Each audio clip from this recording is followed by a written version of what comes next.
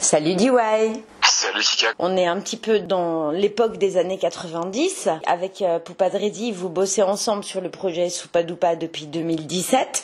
Il me semble hein, que vous avez quitté Paris quasiment en même temps pour Nantes. Est-ce que vous vous connaissez depuis très longtemps? Comment vous vous êtes connus réellement?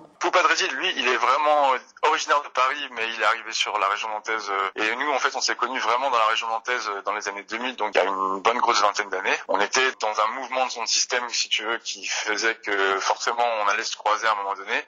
On n'était pas forcément dans les mêmes équipes, parce que moi j'étais dans une équipe plus euh, reggae, euh, bogle, via une, émission de radio que dont j'avais rencontré les membres. Donc on était quand même dans un petit microcosme aussi via la radio qui faisait qu'on se croisait avec Dreddy.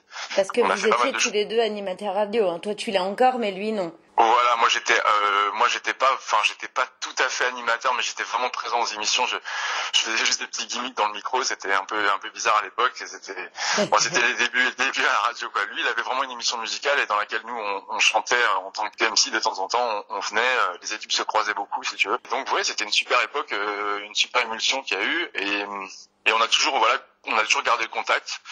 Et puis à un moment donné, on avait enregistré des petits morceaux. Et puis est arrivé King Topa, l'allemand, qui justement, pour rebondir un petit peu sur ton histoire d'années 90, parce que nous c'est vraiment une époque qui est à merveille, si tu veux, dans le ouais, Comme comme si ça vous manquait, hein. on le ressent vraiment sur sur les trois volumes. Hein. C'est comme si vous aviez grandi là-dedans, quoi. Bah, ça nous manquait et puis c'est vrai que moi à une époque, euh, enfin euh, au début où j'ai commencé, il n'y avait pas cette euh, cette résurgence.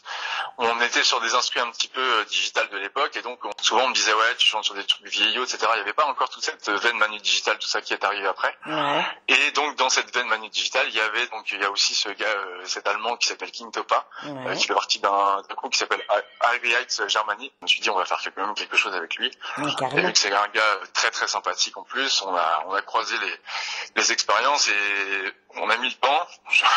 On, s'est envoyé des messages pendant plusieurs années, hein, parce que ça a duré plusieurs années.